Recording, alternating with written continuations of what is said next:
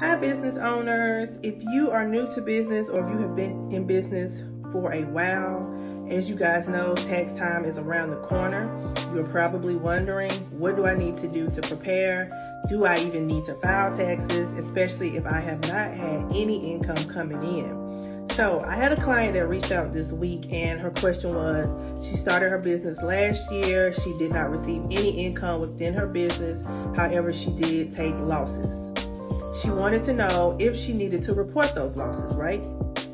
So here's the thing. She reached out to another tax preparer, I believe, and they told her, no, you don't have to report your losses, which is true.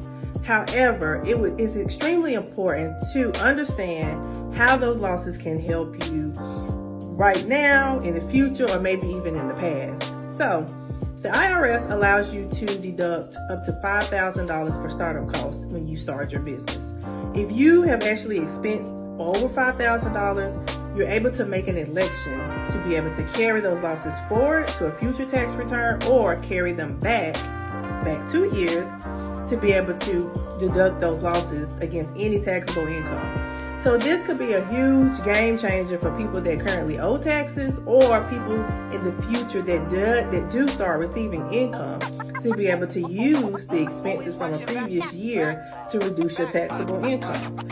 So if you are, you know, if you are a taxpayer, you are a W-2 employee 1099, and this is your first year actually um, reporting or establishing your business, and you are unsure of how to be able to take advantage. So I'm sure you're seeing everywhere, maximize your deduction. What does that mean? Please schedule a call to find out how you can maximize your deductions, okay?